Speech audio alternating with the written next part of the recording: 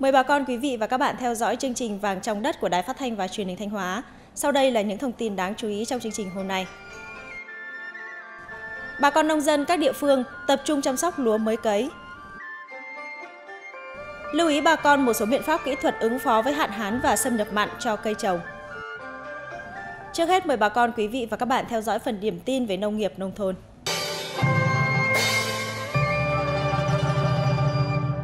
Thưa bà con, quý vị và các bạn, thời điểm này, nắng nóng gay gắt ảnh hưởng không nhỏ đến sức đề kháng của đàn vật nuôi, là điều kiện thuận lợi cho dịch bệnh bùng phát.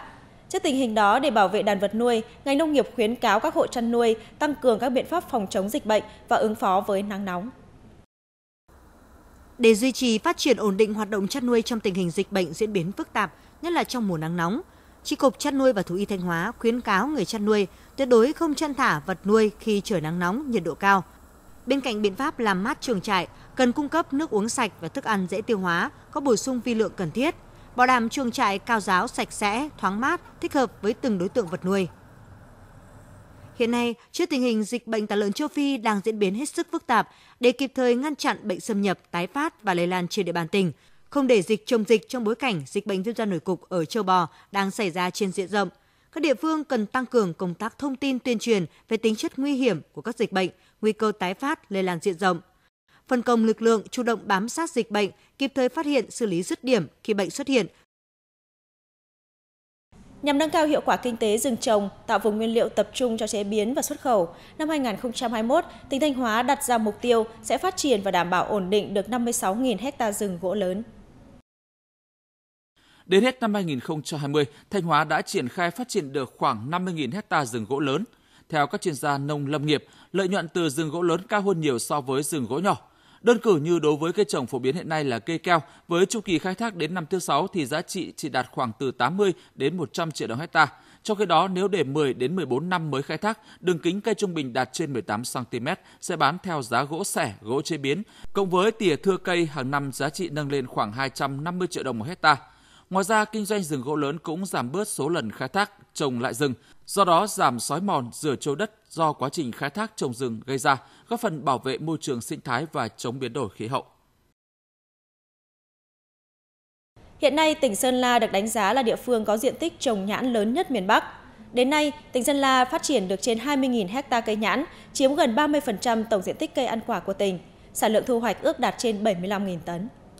Diện tích trồng nhãn của Sơn La được quy hoạch hình thành vùng sản xuất hàng hóa tập trung tại các huyện Sông Mã, Mường La, Mai Sơn và Yên Châu. Nhãn Sơn La ngoài có mặt tại hầu hết các hệ thống phân phối lớn trong nước như Bixi, Copmark, Hapro, còn tham gia xuất khẩu với số lượng lớn sang thị trường như Trung Quốc, Mỹ, Úc. Hiện nay nhãn Sơn La đã được cấp 92 mã số vùng trồng với diện tích trên 2.400 ha. Trong đó mã số vùng trồng được cấp thẻ xuất khẩu sang các nước Mỹ, Úc là 34 mã với diện tích trên 200 ha xuất khẩu sang thị trường Trung Quốc là 58 mã với diện tích trên 2.200 hecta. Tổng sản lượng ước đạt gần 23.000 tấn. Dự kiến năm nay sản lượng nhãn Sơn La tiêu thụ tại thị trường trong nước là 41.500 tấn, chế biến khoảng 25.000 tấn. Đặc biệt niên vụ này tổng sản lượng sản phẩm nhãn Sơn La tham gia xuất khẩu dự kiến đạt 8.500 tấn, chiếm trên 113%. Giá nhiều loại trứng gia cầm tiếp tục tăng ít nhất từ 1.000 đến 3.000 đồng một chục so với các tháng trước đây. Hiện nay giá trứng vịt và gà ta được nông dân bán cho thương lái ở mức từ 22.000 đến 25.000 đồng một chục. Trứng gà công nghiệp có giá từ 20.000 đến 23.000 đồng trên một chục. Còn giá bán lẻ trứng gà ta và trứng vịt đang ở mức từ 30.000 đến 32.000 đồng một chục. Trứng gà công nghiệp loại lớn từ 29.000 đến 30.000 đồng một chục. Giá trứng gia cầm tăng do nhu cầu tiêu thụ tăng mạnh, trong khi nguồn cung các loại trứng tại nhiều địa phương đang có phần giảm vì thời gian qua giá thấp, nhiều người chăn nuôi bị lỗ vốn nên đã giảm số lượng nuôi. Ngoài ra, giá thức ăn chăn nuôi liên tục tăng mạnh trong thời gian qua cũng khiến cho nhiều người dân chăn nuôi cầm chừng.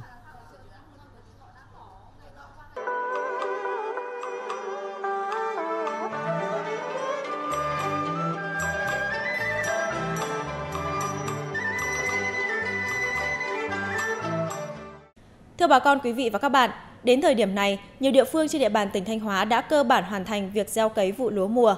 Đây cây lúa sinh trưởng tốt trong điều kiện thời tiết nắng nóng. Hiện nay, người dân các địa phương đang tập trung chăm sóc, đảm bảo các điều kiện cho cây lúa phát triển. Vụ mùa năm nay, xã Thiệu Toán, huyện Thiệu Hóa gieo cấy được trên 316 ha lúa. Đến ngày 20 tháng 6, địa phương này đã hoàn thành xong việc gieo cấy. Đến nay, diện tích lúa trên địa bàn đang hồi xanh bén rễ. Để cây lúa phát triển, bà con đang tập trung bón thuốc đợt một cho lúa, đồng thời thường xuyên kiểm tra thăm đồng nhằm phát hiện các loại sâu bệnh hại lúa để phòng trừ kịp thời. Tôi làm được uh, 3 mẫu. 3 mẫu thì thời điểm này là tôi đang muốn uh, đợt một cho lúa. Thì từ lúc cấy giờ là uh, giờ là 14 phân đầu tiên. Đến thời điểm này thì là lúa đang phát triển bình thường. Có một số loại sâu bệnh nó cũng chưa đến mức độ ở mật độ thấp chủ yếu là sâu cuốn lá khâu ờ, nước ờ, đảm bảo nước để đảm bảo cho cái lúa phát triển để để chống khô nứt Đấy, thì cái này là nước là đảm bảo và đến thời điểm này thì là hầu như các diện tích là không có chỗ nào mà có hiện tượng là bị bị khô hạn. Tại xã Thọ Vực, huyện Triệu Sơn, 176 hecta lúa vụ mùa cũng được cấy xong trước ngày 15 tháng 6. Đến thời điểm này, cây lúa đang sinh trưởng tốt, chưa có sâu bệnh. Trong những ngày nắng nóng, xã Thọ Vực đang chỉ đạo hợp tác xã đảm bảo cung cấp đủ nước cho cây lúa phát triển tập trung tuyên truyền bà con nhân dân là à, làm tốt cái khâu à, làm dầm cho đất. Do đó lúa đang phát triển tốt và không bị à, nghẹt dễ bị nghẹt dễ. Về cái nắng nóng trong thời gian vừa rồi là ừ, và ban chỉ đạo cũng đã chỉ đạo cho hợp tác xã và đấu mối với lại thủy nông là ừ, bố trí cái lịch nước để đảm bảo nước tưới chăm sóc lúa. Vụ mùa năm nay, tỉnh Thanh Hóa có kế hoạch gieo cấy 115.000 hecta lúa, Đến thời điểm này, toàn tỉnh đã gieo cấy được khoảng 90.000 hecta, đạt trên 80% diện tích. Mặc dù nắng nóng gay gắt nhưng do chủ động được nguồn nước nên việc gieo cấy diễn ra thuận lợi. Đối với diện tích lúa mùa sớm né lụt và đảm bảo quỹ đất làm vụ đông, bà con nông dân các địa phương đã cấy xong. Nhiều diện tích lúa đã cấy, cây lúa hồi xanh, bén rễ, đẻ nhánh, sinh trưởng và phát triển tốt.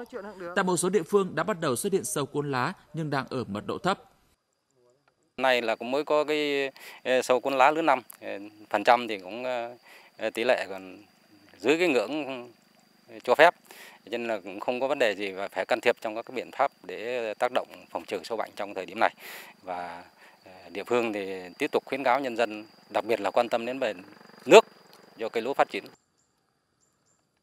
Hiện nay diện tích lúa đã cấy đang được bà con nông dân chăm sóc chăm dặm làm cỏ bón phân lần một.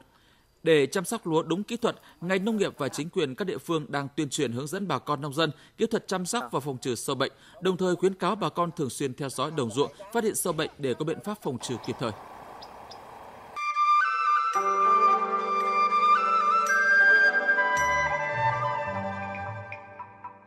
Thưa quý vị, bà con và các bạn, theo dự báo, tình hình hạn hán và xâm nhập mặn diễn ra ngày càng mạnh mẽ và gai gắt hơn. Nhằm bảo vệ cây trồng, trong mục nhà nông cần biết hôm nay, chúng tôi sẽ lưu ý bà con một số biện pháp kỹ thuật nhằm ứng phó với hạn hán và xâm nhập mặn cho cây trồng. Đối với cây lúa, tranh thủ nguồn nước ngọt để cung cấp cho lúa, nhất là giai đoạn lúa mới cấy, không đưa nước mặn tích trong ruộng để tránh làm tăng độ mặn trong đất. Tuyệt đối không tưới nước nhiễm mặn từ 2 phần nghìn trở lên cho lúa. Tăng cường bón phân kali nhằm giúp cây lúa khỏe, tăng tính đề kháng. Có thể phun một số chế phẩm tăng cường khả năng chống chịu mặn. Đối với cây ăn quả, trong thời gian nước nhiễm mặn không xử lý ra hoa giải vụ, không tưới nước nhiễm mặn, đồng thời tiến hành ủ gốc giữ ẩm cho cây trồng bằng rơm dạ cỏ khô. Đối với cây ăn quả mới trồng nên có biện pháp che mát cho cây. Tăng cường bón phân hữu cơ, lân và kali giúp tăng sức đề kháng của cây. Đóng các cống hoặc tiến hành đắp bờ ngăn mặn, tích trữ nước ngọt trong mương vườn để tưới cho cây. Áp dụng kỹ thuật tưới tiết kiệm trong vườn cây ăn quả. Trường hợp nước mặn đã xâm nhập vào mương, vườn cây ăn quả, chủ động bơm nước ra ngay, cần tiến hành tỉa cành tạo tán. Nếu cây đang ra hoa quả, cần cắt bỏ bớt để giảm thoát hơi nước và để duy trì sử dụng ít nước trong thời gian xâm nhập mặn.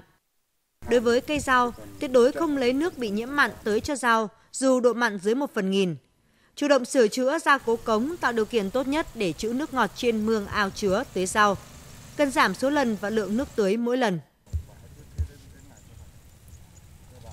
Bản tin vàng trong đất của chúng tôi hôm nay xin kết thúc tại đây. Xin kính chào và hẹn gặp lại. Bà con, quý vị và các bạn có thể xem lại chương trình trên địa chỉ website truyền hình thanh hóa.vn hoặc trên kênh youtube của Đài Phát thanh và Truyền hình Thanh hóa.